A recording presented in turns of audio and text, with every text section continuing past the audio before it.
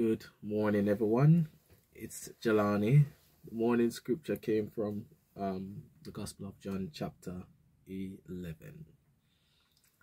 Let us pray.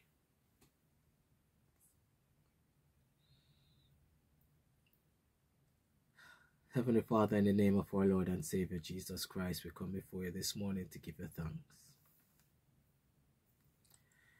Not only for sparing our lives, but for your unfeigned love towards us, mankind, and not only unto us who have chosen you, but for all mankind.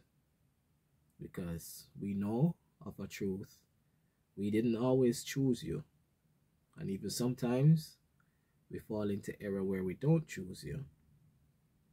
And yet your love for us endures forever and ever. And Lord, this love that you have for us, we want to reside in it because we know anything outside of your love is your wrath. And there is none that can withstand the wrath of the Almighty God. And some may ask, why does it have to be so? My question to them is, why? Why can't it be so? Because if you have given us this maximum permissible time for all of us to choose your love, what else is there outside of that? if we choose not to love or to receive your love and to show your love.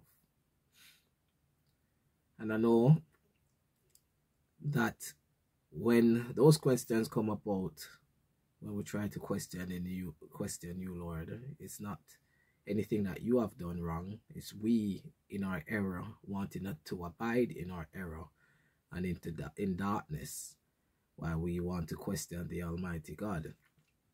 But if but if we take a page out of your servant Job, we know that there's none that can pose question. There's none that can judge you. There's no one that can hold you accountable for, or should I say, anyone that can seem to find fault with you.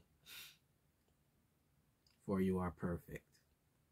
And we who have acknowledged that you are perfect we, Lord Jesus, even today we ask that you perfect yourself in us so that we can please you, O Heavenly Father, all the days of our lives. Abiding in your love, showing you love by showing love one towards another. So, Lord, again, we thank you. Thank you for knowing you. And we pray that our relationship with you grows and abounds more and more, that we may know you perfectly, the one true God, through you, by you, and for you, Lord Jesus Christ, who has been sent. And that, Lord, in knowing you, that we may know how to traverse this life as you have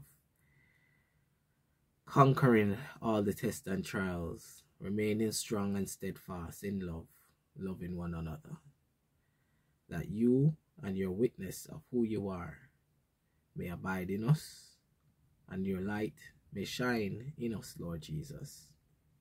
And ultimately, also, we want that we are able to shine this light to raise up the youth, the next generation who brings us so much joy to see and to yeah just see yeah just to have them it's a blessing and lord we want that we who are yours are able to point them in the right direction as you have been pointing us in the right direction. So when that they are of age they shall never leave you nor forsake you nor neglect you. And Lord, that you continue to help, to sustain, to promote, to put your hedge of protection, and to strengthen marriages, the godly pursuit of it, that you keep all on the right track, so that in everything we as mankind, those who love you, may glorify you with our lives. So, Lord, lead us in spirit and in truth in your word this morning to the glory of God, our Heavenly Father. We pray in the name of Jesus Christ, our Lord. Amen. All right. So, John chapter 11. Now, a certain man was sick, named Lazarus of Bethany, the town of Mary and her sister Martha. It was that Mary which anointed the Lord with ointment and wiped his feet with her hair, whose brother Lazarus was sick. Therefore his sisters sent unto him, saying, Lord, behold, he whom thou lovest is sick. When Jesus heard that, he said, This sickness is not unto death, but for the glory of God, that the Son of God might be glorified thereby. Now Jesus loved Martha and her sister and Lazarus. When he had heard therefore that he was sick, he abode two days still in the same place where he was. Then after that saith he to the, his disciples, Let us go into Judea again. His disciples say unto him, Master, the Jews of late sought to stone thee, and goest thou thither again? Jesus answered, Are there not twelve hours in the day? If any man walk in the day, he stumbleth not, because he seeth the light of this world. But if a man walk in the night, he stumbleth, because there is no light in him. These things said he, and after that he saith unto them, Our friend Lazarus sleepeth, but I go that I may awake him out of sleep. Then said his disciples, Lord, if he sleep, he shall do well. Howbeit, Jesus spake of his death, but they thought that he had spoken of taking of rest in sleep. Then Jesus said unto them plainly, Lazarus is dead. And I am glad for your sakes that I was not there, to the intent ye may believe. Nevertheless, let us go unto him. Then said Thomas, which is called Didymus, unto his fellow disciples, Let us also go, that we may die with him. Then when Jesus came, he found that he had lain in the grave four days already. Now Bethany was nigh unto Jerusalem, about fifteen furlongs off. And many of the Jews came to Martha and Mary to comfort them concerning their brother. Then Martha, as soon as she heard that Jesus was coming, went and met him but Mary sat still in the house. Then said Martha unto Jesus, Lord, if thou hadst been here, my brother had not died. But I know that even now, whatsoever thou wilt ask of God, God will give it thee. Jesus said unto her, Thy brother shall rise again. Martha saith unto him, I know that he shall rise again in the resurrection at the last day. Jesus said unto her, I am the resurrection and the life. He that believeth in me, though he were dead, yet shall he live. And whosoever liveth and believeth in me shall never die. Believest thou this? She saith unto him, Yea, Lord, I believe that thou art the Christ, the Son of God, which should come into the world. And when she had so said, she went her way and called Mary her sister secretly, saying, The Master is come, and calleth for thee. As soon as she heard that, she arose quickly and came unto him. Now Jesus was not yet come into the town, but was in that place where Martha met him. The Jews then which were with her in the house and comforted her, when they saw Mary, that she rose up hastily and went out, followed her, saying, she goeth unto the grave to weep there. Then, when Mary was come where Jesus was, and saw him, she fell down at his feet, saying unto him, Lord, if thou hadst been here, my brother had not died. When Jesus therefore saw her weeping, and the Jews also weeping which came with her, he groaned in the spirit, and was troubled, and said, Where have ye laid him? They said unto him, Lord, come and see. Jesus wept. Then said the Jews, Behold, how he loved him. And some of them said, Could not this man which opened the eyes of the blind have caused that even this man should not have died? Jesus, therefore, again groaning in himself, cometh to the grave. It was a cave, and a stone lay upon it. Jesus said, Take ye away the stone. Martha, the sister of him that was dead, saith unto him, Lord, by this time he stinketh, for he hath been dead four days.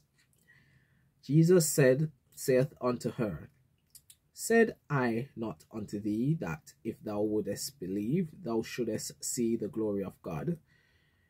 Then they took away the stone from the place where the dead was laid. And Jesus lifted up his eyes and said, Father, I thank thee that thou hast heard me. And I knew that thou hearest me always. But because of the people which stand by, I said it, that they may believe that thou hast sent me. And when he thus had spoken, he cried with a loud voice, Lazarus, come forth. And he that was dead came forth, bound hand and foot with grave clothes, and his face was bound about with a napkin. Jesus saith unto them, Loose him and let him go. Then many of the Jews which came to Mary and had seen the things which Jesus did believed on him. But some of them went their ways to the Pharisees and told them what things Jesus had done.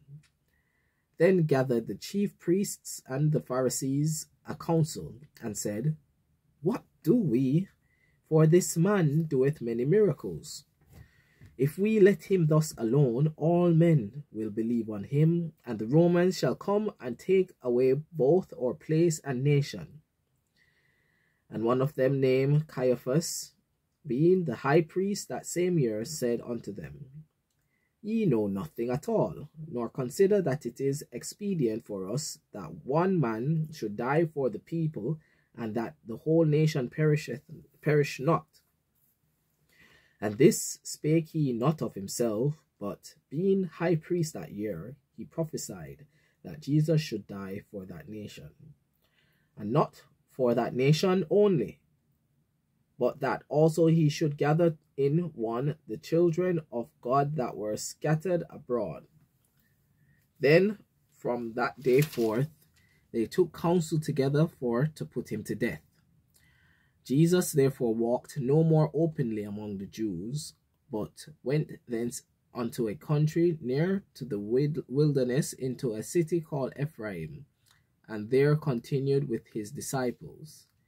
And the Jews' Passover was nigh at hand. And many went out of the country up to Jerusalem before the Passover to purify themselves.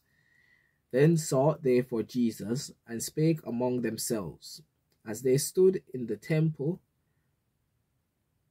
Sorry, verse 56. Then sought they for Jesus, and spake among themselves, as they stood in the temple. What think ye, that he will not come to the feast?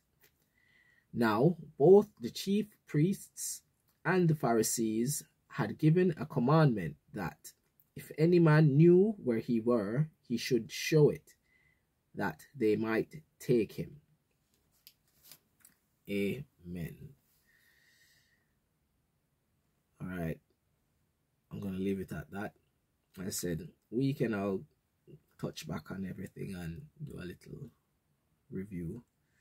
But in the meantime, anything that you want to share, you can drop it in the comment section. or send it in to the word at eachreachone.org. And as much as the Lord has led me, taught me, and kept me over the years, I will answer them according to His word, according to His principles, according to His will, being led by His Holy Spirit.